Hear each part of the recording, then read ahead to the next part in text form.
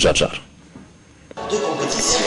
الجزائر التي تستعد لاحتضان الاحتفالات بالذكرى الخمسين لاستقلالها تسجل قفزة نوعية في رحلة بحثها عن مرافق عمومية ضمن إرسال هياكل قاعدية تجعل من الجزائر منارة للأصالة والتمدن. انطلاق أشغال تهيئة واد الحراش يندرج ضمن استراتيجية انتزاع مكانة مرموقة للجزائر العاصمة لتصبح بالفعل لؤلؤة المتوسط.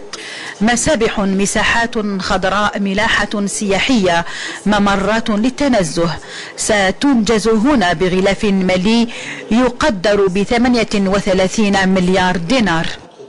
اليوم آه، في انطلاقة تاع أشغال آه، إعادة الاعتبار إلى واد الحراش يمتد على 18 كيلومتر داخل ولاية الجزائر وهذا الاعتبار داخلة في المخطط الشامل اللي قامت به ولاية الجزائر العاصمة حيث فيه برنامج انطلق ويمتد حتى ل 29 المسحة الجمالية التي تسعى الجزائر لكسبها تندرج ضمن الحفاظ على أصالتها واستراتيجية تهيئة خليج الجزائر الذي يقف شاهدا على عمق وتجدر الجزائر في التاريخ. واد الحراش هو جزء من نظرة شاملة كاملة لإعادة الاعتبار لولاية الجزائر. فيها نظرة استراتيجية من من 2012 إلى 2030 هذه أول مرة. اللي فيها آه، نظرة فيها استراتيجية فيها استراتيجية عمل وفيها نظرة بعيدة المدى. إعادة النظر في هيكلة الجزائر تشمل مش تشمل فقط وسط الجزائر ولكن الجزائر الوسطى وكل البلديات المجاورة للجزائر.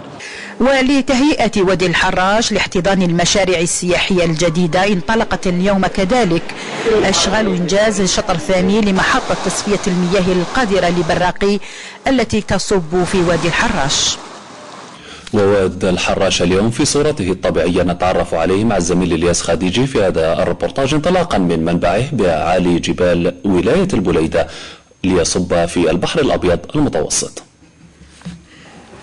بالمقطع الأزرق يلتقي واد الأخرى ووادي مقطع في نقطة واحدة ويشكلان وادي الحراش. على طول ستة كيلومترات تأخذ المياه مجراها متجهة نحو حمام ملوان. أين تبقى الطبيعة تحافظ على نقاء وصفاء مياهها التي تستغل حتى اليوم في الاستحمام والاستجمام؟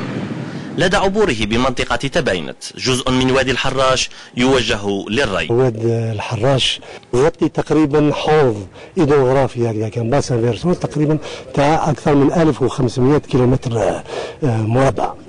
1500 كيلومتر carré. والمنسوب نتاعو المعدل هكذاك يلحق تقريبا إلى 90 إلى 100 آه، مليون متر مكعب سنويا. ال ouvrage هذا اللي راح يعني اللي إحنا من أجل سقي سقي كل منطقة المتيجه الوسطى على تقريبا المساحة الإجمالية هي أكثر من 17 17000 ألف آه، هكتار. استغلال الأراضي الفلاحية المحاذية للوادي يساهم في تلوث مائه جراء استعمال المواد الكيميائية والأسمدة. إضافة إلى مياه الصرف الصحي الناجمة عن التجمعات السكانية والنفايات السامة التي تلقي بها المصانع. تسمى ناس كبار يحكوا عليها. تسمى كان بها.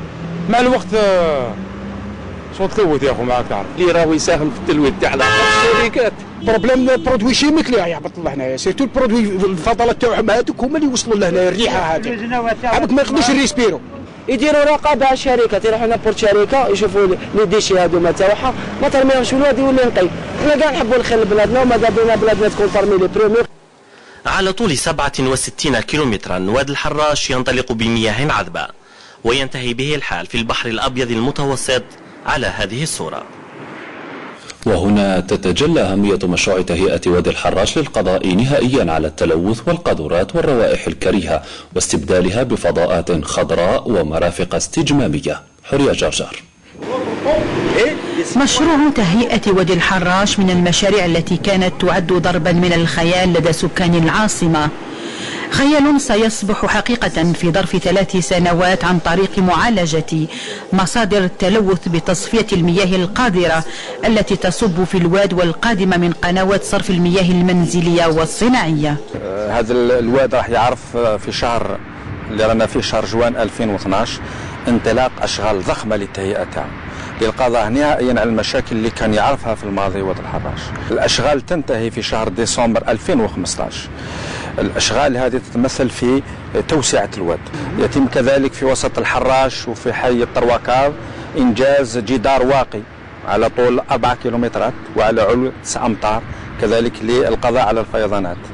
نقوم كذلك بنزع النفايات الموجودة في أسفل الواد. وبهدف معالجة المياه القادرة المنزلية انطلقت أشغال الشطر الثاني لمحطة تصفية المياه ببراقي.